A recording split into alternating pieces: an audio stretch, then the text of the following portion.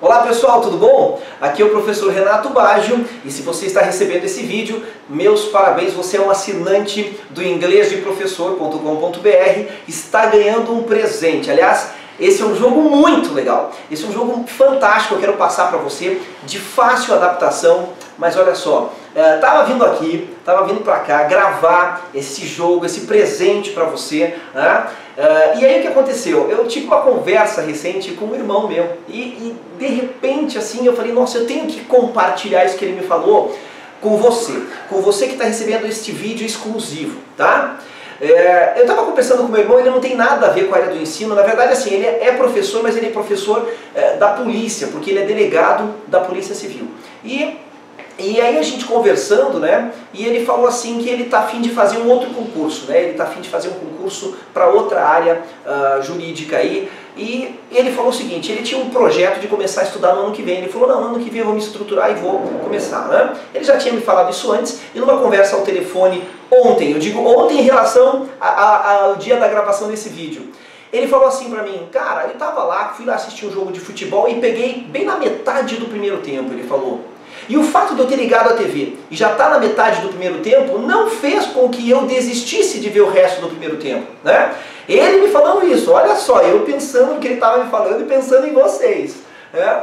Aí ele falou assim, cara, eu assisti o resto do primeiro tempo porque me interessava de qualquer jeito. Aliás, eu queria assistir o máximo do jogo possível. Né? Eu não deixei para começar a assistir o jogo a partir do segundo tempo. Né? E ele falou assim para mim, cara, isso me deu um insight. Ele me falando. Isso me deu insight por quê? Porque ele falou, cara, eu tinha me planejado para começar a estudar para um novo concurso no ano que vem. Ele falou, mas pô, eu não deixo o meu lazer para depois, por que, que eu vou deixar o meu objetivo de vida para depois? Ele falou, vou começar a estudar agora, hoje. Terminou o jogo, ele falou, vou sentar para estudar. E ele começou a estudar. E conversando, ele passou isso para mim. Eu falei, nossa, ele não tem noção da sacada que ele teve, do insight que ele teve. Porque nós somos, por natureza, procrastinadores, né? A gente está sempre deixando para depois. Tudo. É a dieta que você quer começar depois, é um estudo que você quer começar depois, é uma especialização. Nós somos procrastinadores por natureza, aquela coisa de deixa para depois, depois eu faço. Tanto para as coisas que são para o lado profissional, quanto para o lado pessoal, para o lado do lazer. A gente é sempre do deixa para depois. E não, não. A gente tem que começar a mudar aquilo que a gente quer, a gente tem que começar a melhorar agora. Se você tem uma intenção real de fazer algo diferente para seu benefício, tem que ser agora. Pense nisso, deixe isso aí, ó, fomentando na sua cabeça enquanto eu falo desse jogo muito legal para você. Esse jogo que vai agregar muito. Aliás, você já está de parabéns por estar tá aqui compartilhando comigo. O inglês de professor está ficando demais, gente, sério. Está ficando demais porque estão acontecendo várias discussões a partir dessa ferramenta. Eu já estou muito satisfeito. Eu não esperava que a amplitude fosse ser tão grande tão logo, tão cedo. Muita gente do bem compartilhando ideias. Eu trago uma ideia minha, um jogo aqui para vocês, olha só, gente. E este jogo, bem bacana, é claro que a gente divide as coisas que a gente sabe que funcionam numa sala de aula com os nossos colegas. Essa é a pegada do bom profissional, tá? A gente divide. Dá uma olhadinha aqui, ó. Então, eu chamo ele de The Grid Challenge, que é o desafio do quadro, né? Eu não desenhei as linhas aqui, gente, para não ficar tudo torto, tá bom? Mas eu tô com ele aqui, ó, na minha mão. Você vai ter assim, ó, você vai receber, tá, um arquivozinho para você fazer o download bonitinho para você imprimir e jogar isso aqui. Pode ser usado em cursos específicos de inglês, pode ser usado em escolas de ensino regular e você divide em grupos, funciona muito bem. Aliás, você pode até numa mesma escola, que você, por exemplo, uma escola de curso de inglês, você desafiar, né, uh, outras turmas. Então o que, você faz? Você fala, não, eu tenho uma turma de avançado, meu colega também tem uma turma de avançado. Vamos desafiar, uma turma desafia a outra. Muito legal, tá? Então, ó, já fica a dica. Este é um jogo que com o que eu trouxe para vocês, ele é de Upper Intermediate para frente, Upper Intermediate, tá? É um jogo um pouquinho mais difícil, mas você pode adaptar para o nível que você quiser, para a idade que você quiser. Então dá uma olhadinha aqui, ó. Você vai dividir assim o teu quadro, tudo bem? Você vai ter cinco linhas e você vai ter aqui, ó, A, B, C, D, E, cinco colunas. Note a pontuação. Note que a pontuação da primeira linha é tudo 100 pontos. Da segunda linha é tudo 200 pontos, 300 pontos, 400 e 500. Sim, é isso mesmo que você está pensando. Eu sei que você está pensando. Ah, então quanto mais pontos, mais difícil? É bem isso. Você acertou. Show! Então o que acontece? O aluno escolhe se ele quer arriscar uma pontuação menor, mais segura, ou se ele quer arriscar algo um pouco mais difícil, mais elaborado. Tudo bem? Bom, a gente tem aqui o Say It Another Way, a gente tem o Vocabulary Who qualquer coisa, General Knowledge, essa pergunta aqui é muito fácil você adaptar para o que você quiser. Choose one, aqui você dá opções para o aluno. E finalmente Complete the Sentences, que é a parte mais difícil, porque envolve aí o aluno ter uma habilidade maior dentro da língua, certo? Então o que acontece? Eu estou com o meu, com meu uh, com o meu gabaritozinho aqui, ó. Mas num primeiro momento você monta isso aqui no quadro, divide as equipes, pode ser duas ou mais equipes, certo? E aí você começa a jogar. Pode ser que você considere isso pontos, pode ser que você considere dollars, pode ser que você considere. Tem gente que chama, né? Que nem tem lá. É, é, chama de, de. dá um outro nome para não falar money, né? Mas enfim, como se fosse, tá? E eu vou fazer o seguinte. Para ficar mais fácil para te mostrar como é que funciona, eu vou ali para nossa tela, para nosso, para nossa telona ali, ó, que eu joguei no PowerPoint, fica mais fácil de eu te mostrar quais são os questionamentos. A gente não vai jogar ele inteiro, mas olha que jogo bacana para você. Aliás, fica tranquilo, você vai receber o arquivo, você faz o download dele, tá? Completíssimo disso daqui. Junto com esse vídeo, você vai ter o acesso do link ali para você fazer o download do, do jogo gabaritado. E aí você pode criar em cima dele, é, adaptar para o nível que você quiser. Então, esse, esse jogo interessa para qualquer nível que você der aula. Tudo bem? Vamos dar uma olhadinha na tela? Vem comigo aqui, gente. Olha só que bacana aqui. Fica mais fácil a gente usar essa telona aqui, né? Aqui, ó, o grade separadinho. Você pode pôr lá no teu quadro A, B, C, D e E para ficar mais fácil para o aluno dizer, certo? Como se fosse uma batalha naval. O aluno fala assim, ah, a gente, a nossa equipe quer responder a pergunta 3C, por exemplo, A, B, C, né? Aí fica fácil de você se localizar. Beleza? Então, uma vez que está isso aqui pronto para o aluno, né? Tem que, ele tem que estar tá podendo olhar isso aqui o tempo todo. Aí você vai ter no seu gabaritinho, ó, deixa eu pegar aqui, ó. Você vai ter o seguinte, vamos lá para as primeiras perguntinhas aqui, ó. Deixa eu passar, ó. Say it another way. Só você vê isso aqui. Teu aluno não vê isso aqui, isso aqui está na tua mão, tudo bem? Porque ele vai escolher um. Se ele escolheu, por exemplo, o 1C, ó, valendo 300 pontos, você vai dizer o seguinte, ó, como é que o aluno, por isso que eu disse que era de upper intermediate para cima, como é que ele pode dizer de outra maneira?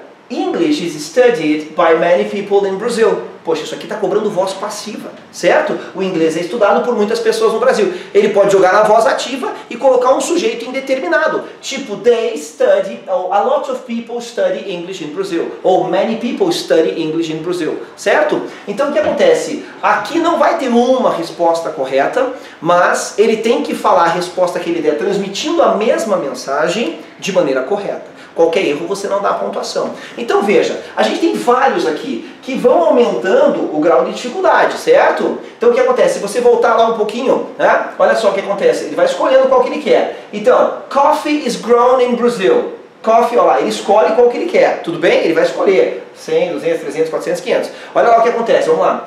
Coffee is grown in Brazil. Ele tem que dizer isso de outra maneira. Criminals have to be arrested. A maior parte delas aqui, ó, todas voz passiva para ele falar isso de outra maneira. Bacana? Nem todos os níveis de inglês já tiveram voz passiva.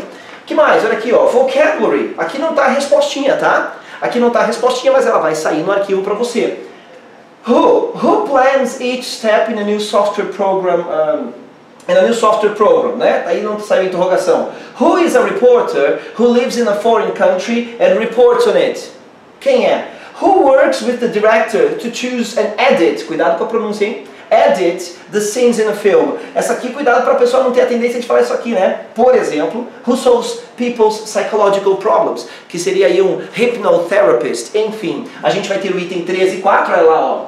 Vamos ver, vai sair aqui. 3, isso, e 4. General Knowledge, aqui também tem o um gabaritinho para você. Which is the highest mountain in the world? Tá, ficou meio fácil, mas ela vale só 100 pontinhos, certo? Which is the longest river? Hum, tem gente que vai dizer o Nilo, não é o Nilo, tá? Which two countries in South America have no border with Brazil? Opa, essa pegou. Quais dois países da América do Sul não fazem fronteira com o Brasil?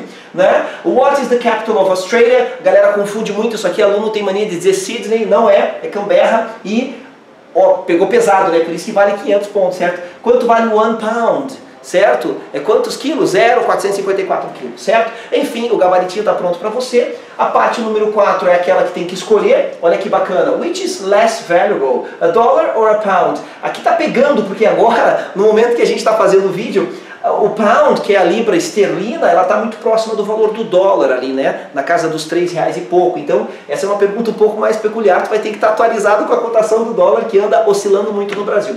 Mas aqui, olha só que bacana, você vai escolhendo e você pode adaptar. O último item, que é o item número 5, gente, eu não vou fazer todos aqui, ó, complete as frases. Também pode ter uma opção de escolha, né? I am a student, aqui já é a resposta, então isso aqui o aluno não vê. I am a student, qual é o tag question? Pode ser tanto aren't I ou am I not, tá?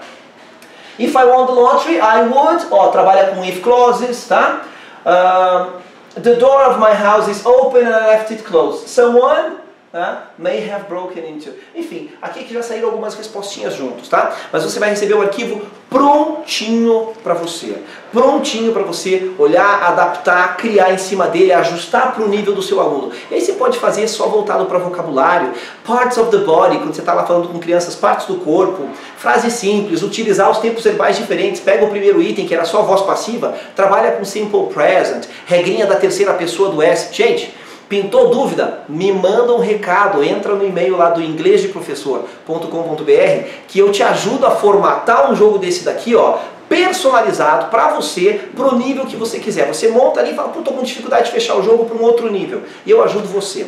Tá certo? Aliás, Aproveitando para falar disso, lembra da conversa introdutória da gente aqui, tá? Não deixe para depois. Não deixe para depois o quê? Isso, melhorar a sua sala de aula. Um jogo, um jogo que pode ser muito, muito, muito rico em termos de conteúdo. Não é um jogo aleatório que, que dono de escola, que coordenação, que orientação, supervisão, seja lá qual for, não vai aprovar um jogo totalmente focado na estrutura, no inglês, na comunicação. Né? Então você veja como um jogo pode ser ter muito desafio. Aliás, o nome do jogo é The Great Challenge, porque os seus alunos precisam de desafios.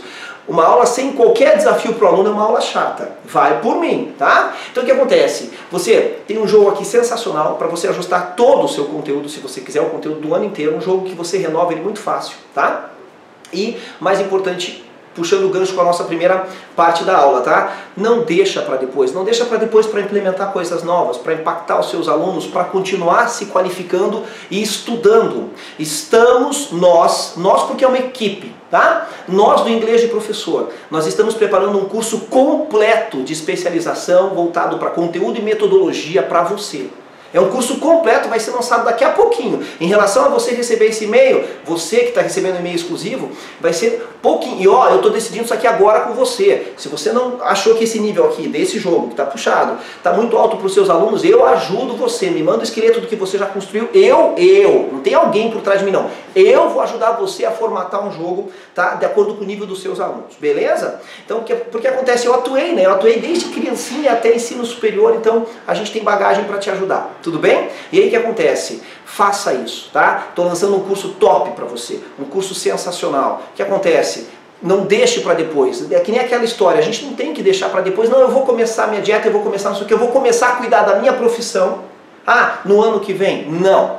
Se você está de fato querendo melhorar, tem que fazer como o meu irmão sem querer me deu uma sacada. A gente começa agora, a gente começa a dieta agora, você começa agora, qualquer coisa que você queira a partir desse vídeo aqui. Então, dezembro, curso top, você vai receber essa informação privilegiada porque você é assinante. Não deixe. E peço para você, entra lá no Inglês Professor, me dá um feedback desse jogo, me dá um feedback do, da plataforma toda, dessa ferramenta, o que, que você acha do site, tá? Quero saber sugestões, qual é a sua necessidade, o que for. Ele é, acima de tudo, um canal de troca de experiências e comunicação, então eu preciso te ouvir, não deixe de mandar os seus comentários lá, tá certo? Você pode mandar pelo próprio e-mail do Inglês de Professor ou logo logo, e é bem logo, a gente vai ter ali uma parte também de, de comentários para você no site, deixar o seu comentário, porque críticas construtivas são sempre muito bem-vindas. Um grande abraço, espero que tenha gostado, aguardo seu contato e a sua opinião. Tchau, tchau, bye, see you, I see you.